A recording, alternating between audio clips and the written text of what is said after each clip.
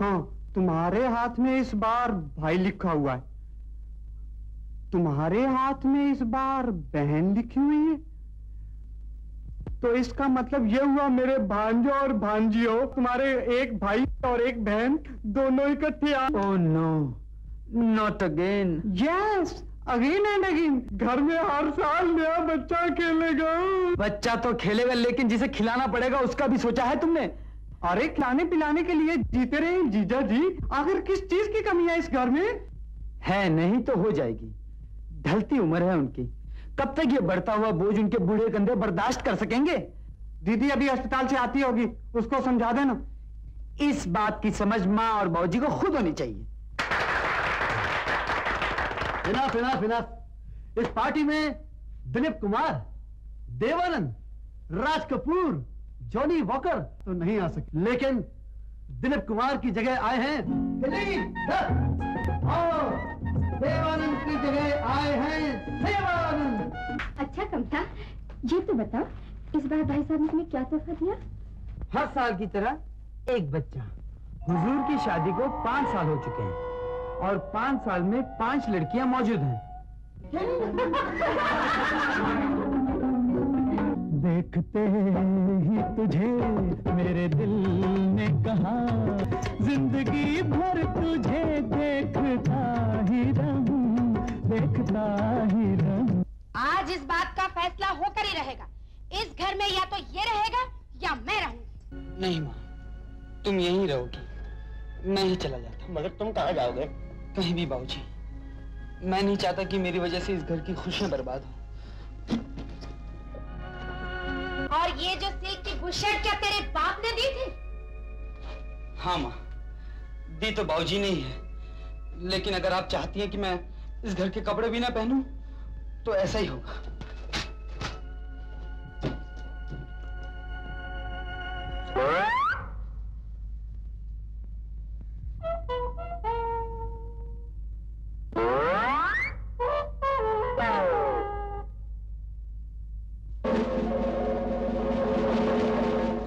ये तौलिया उतारने के लिए मत कहिएगा। ये तौलिया इस घर का नहीं है मेरे दोस्त रमेश का है। गुड मॉर्निंग सर गोपाल ये क्या है? ओह गॉड ये मेरा ऑफ़िस है ये जुहू बीच जो तौलिया पहन के आ गए। सीताराम। अरे सीताराम के बच्चे सीताराम का बॉस आने वाला है। यहाँ से भागो। मैं अभी भागता हूँ। पहले कपड़े खरीदने के लिए पैसे देना। पैसे देना ये कोई बैंक है नहीं देगा। नहीं दूँगा। मैं यहाँ से नहीं जाऊँगा। अरे वो मर गए। ये रहे पाँच रुपए। पाँच रुपए के बच्चे, क्या करता है। बहुत ज़्यादा पैसे हैं। सर बॉस इज़ कमिंग कहाँ? बोल? कहाँ बोल जवान नहीं तो क्या बुड्ढी लेकर आता? जब देखो मेरे बच्चे के बारे में कुछ ना कुछ बोलती रहती।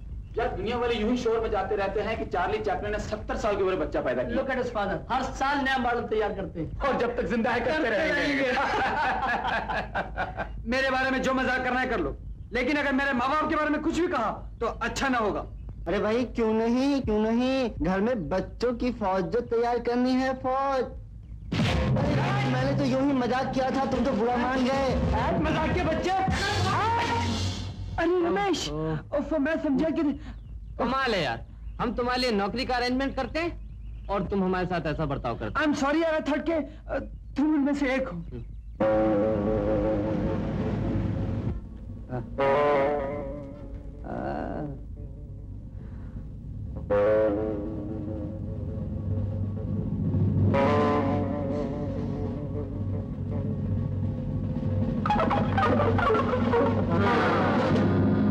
तुम क्यों जा रहे हो बदतमीज?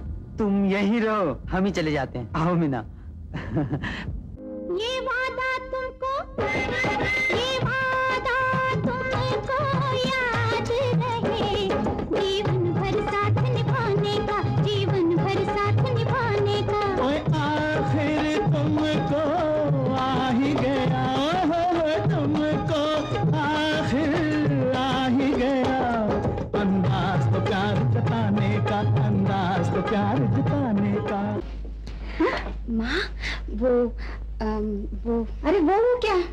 गोपाल है ना? गोपाल? कौन सा गोपाल? जिसे जिसे मैं घर लाई थी। हाँ हाँ। हम दोनों ने शादी करने का फैसला किया है। गोपाल से शादी? गोपाल का भूत अभी तक तेरे सर से नहीं उतरा। कान खोल कर सुन लो। अगर दोबारा उससे मिलने की मैं तुम दोनों को गोली छोड़ा दूँगा। समझी? आज तू कैसे आ गया रे? अरे पाँव क्या छूटा है? मेरे सीने से लग गया मेरे लाल बात के कलेजे में तुम तुझे मेरी याद करेंगे याद तो बहुत आई थी बाबूजी। लेकिन मैं आ ना सका आ ना सका और आज आ गया बाप का कर्जा चुकाने के लिए। चल अंदर। अंदर आओ बेटा अच्छा अच्छा बाबूजी मुझे आशीर्वाद चाहिए। कल मेरी शादी है और मेरी प्रार्थना है आप लोग ज़रूर आइए। जा भागवंती ऐसा ना कर वो बेचारा बड़े चाव से आया है। ला ला ला ले ए, तू भी मुँह मीठा खा ले ले खा लड्डू। आने की ज़रूरत की तो। दफ़ा हो मैं कहती हूँ। वाह भगवान वाह। आज तो गालियाँ लड्डू दोनों की बारिश हो रही है। लगता है किसी नेक आदमी के घर में कदम पड़े हैं। आज से आप दोनों एक दूसरे के जीवन साथी हुए। मुबारक हो। आओ मेरे बच्चों वाह अंकल आप इन दोनों को आशीर्वाद और हम दोनों को काफ़ी दीजिए। मेरा मतलब है, माफ़ी दीजिए, क्योंकि हमें ने आपकी कन्या का दान गोपाल को किया था। हमने जो देखे सपने, हमने जो देखे सपने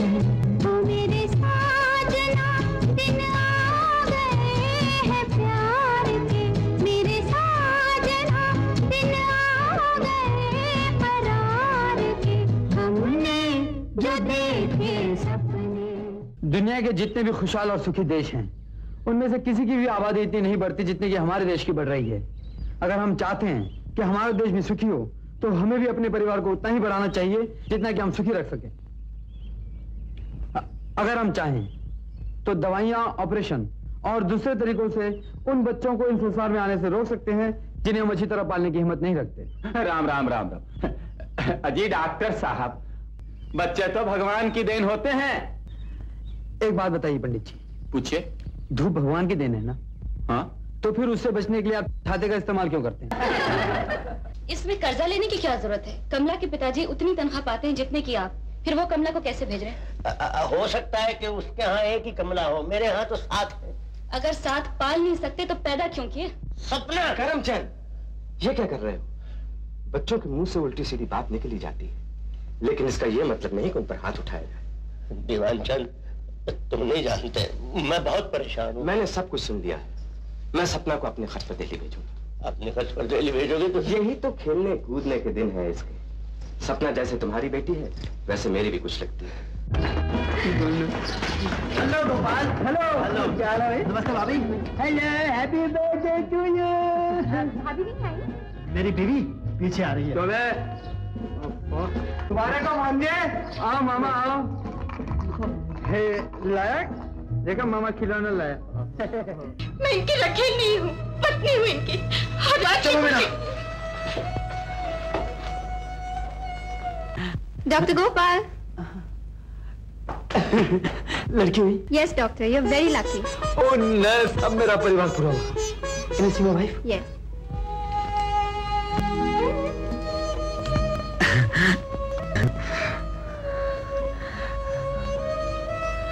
भाई गॉड बड़ी देर लगा दी इस कन्या ने। हाँ तो मीना इस पे दस्तखत कर दो। क्या है? ऑपरेशन पेपर मेरे साथ आइए। हम्म। क्या डॉक्टर? मुन्ने को डिप्टेरिया हो गया था। What with our best effort हम उसे बचा न सके। Very sorry doctor. Sorry. Please सब्र कीजिए।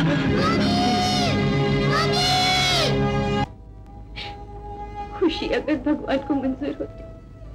तो वो हम पर इतना अन्याय ही क्यों था रोशनी की एक किरण दिखाकर हम के अंधेरों में क्यों धकेल देता? क्यों छीन लेता हमारी फूल जैसे बच्चे को? क्यों छीन लेता? मीना क्यों ना हम एक लड़की गोद ले लें? जिस भगवान ने तुमसे तुम्हारी बच्ची को छीन लिया है, वो कई बच्चों से माँ की गोद भी छीन लिया करता है। और हो सकता है जिस तरह तुम्हारे दिल में एक बच्ची की तड़प है उसी तरह कोई बच्ची माँ की गोद की तड़प रही होगी। जैसे जन्म नहीं दिया उसकी माँ कैसे बन- माँ सिर्फ़ जन्म देने से ही माँ नहीं बनती माँ का प्यार देने से बनती है। अरे ये तुम्हारी होती तो तुम्हें डैडी कहती क्यों बेटा? नहीं तो और किसकी है? दाढ़ी वाले की। दाढ़ी वाले की?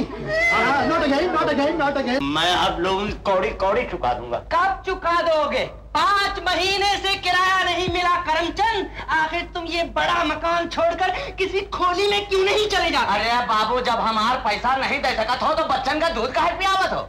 बच्चों की वर्दियाँ सिलाने के लिए आपकी बीवी दो महीने पहले हमारी दुकान से दो थान कपड़ा लाई थी, लेकिन अभी तक पैसे नहीं मिले हैं। असल की बात तो नकल होकर रह गई है, लेकिन अब तो सूद वसूल करना ही मुश्किल है किया तुमसे मेरी हालत पर रहम खाओ। कुछ दिन ठहर जाओ बस। कुछ दिनों के बाद तुम्हारी लॉटरी निकलने वाली है, करमचंद। कान खोल कर सुन लो। कल हम सब फिर आएँगे। कोर्ट के कागज़ और पुलिस साथ लेकर आएँगे। अगर कल हमारे पैसे चुका दिए तो ठीक, वरना तुम्हें मकान के बाहर फेंकवा देंगे। समझे? चलो जी, आओ।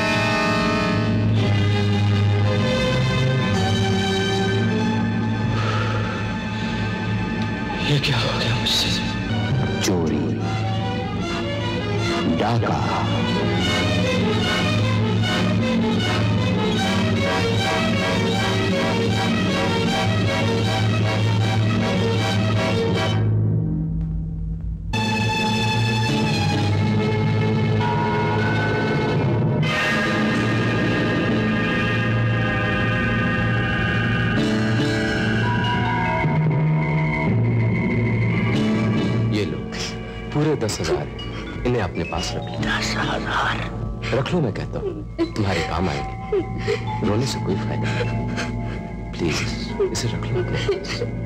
इज़्ज़त की कीमत आजकल के जमाने में दस हज़ार रुपए बहुत ज़्यादा होते हैं सपना। लेकिन मैं माँ से क्या कहूँ तुम्हारी माँ समझदार औरत है। ये पैसा उसके सामने रख देना तो खुद ही समझ जाएगी। याद नहीं जब गोपाल तुम्हें मेरे साथ देखकर तुम्हें ज़बरदस्ती घर ले गया था तो बजाय तुम्हें और मुझे कुछ कहने के, उसने गोपाल को ही बेजत करके घर से बाहर निकाल दिया।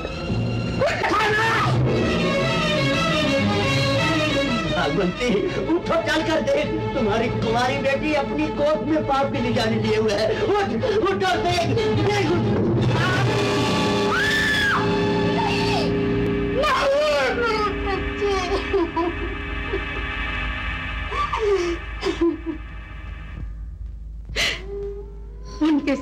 खून सवार था। कहीं वो गुस्से में कुछ कर ना बैठे। गोपाल मेरे बेटे अब तुम ही मेरे सुहाग को बचा सकते हो। देखो करणचंद मेरी तुम्हारी दोस्ती बचपन की दोस्ती है। तुमने तो दोस्ती का निभा दिया है दीवान चंद। अब मुझे अपना फ़र्ज़ निभाना। ताकि दुनिया हमारी दोस्ती से सबक सीखे और किसी को दोस्त कहने से पहले हज़ार बार सोचो। मुझे अफसोस इस बात का नहीं कि मैं आप तुम्हारी जान दे रहा हूँ। बल्कि अफसोस इस बात का है कि मैंने तुम्हें कभी अपना दोस्त कहा था जीवन चंद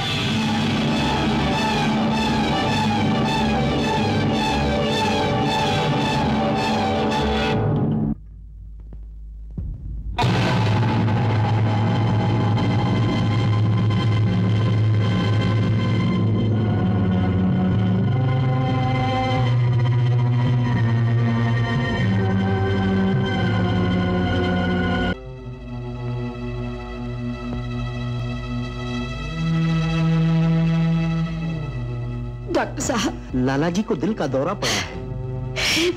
इन्हें बिल्कुल नहीं मालूम होना चाहिए कि गोपाल ने दीवानचंद का खून किया है। क्या तुम्हें अपनी सफ़ाई में कुछ कहना है? नो मिलाड मुलजिम गोपाल क्या तुम्हारी खामोशी को इकबाल जुर्म समझा जाए? नहीं मिलाद मिलाद मुलजिम की खामोशी का मतलब सिर्फ़ ये समझा जाए। मैं बयान देने की इजाज़त चाहता हूँ। इजाज़त है? नहीं बाबूजी। ये क्या कर रहे हैं आप बाबूजी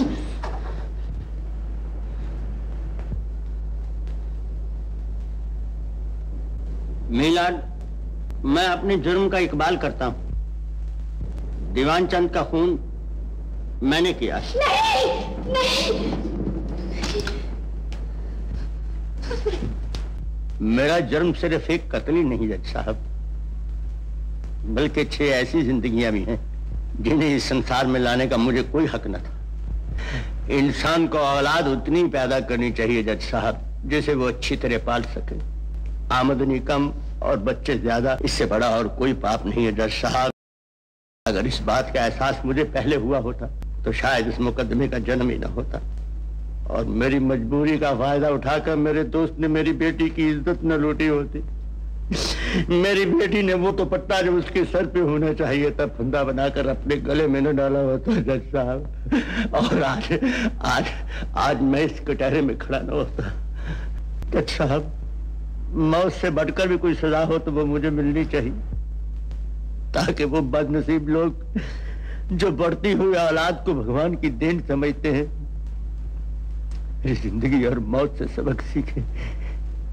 मैं तो कहता हूँ, जज साहब, अदालत जिस तरह चोरी, धोखे और कत्ल के लिए सजा देती है, उसी तरह एक कानून और पास होना चाहिए, मुझ जैसे लोगों को सजा देने के लिए, ताकि कोई करमचंद किसी सपना को पैदा ना करे, किसी दीवान चंद को उसकी इज़्ज़त लूटने का मौका ना दे। जज साहब सलाम।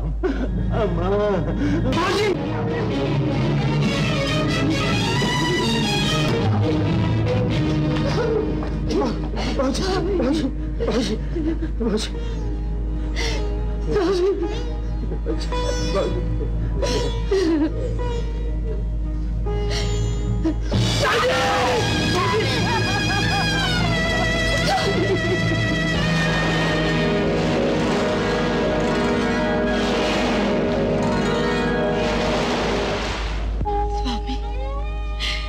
ज़िंदगी भर ना तो मैं अच्छी पत्नी बन सकी।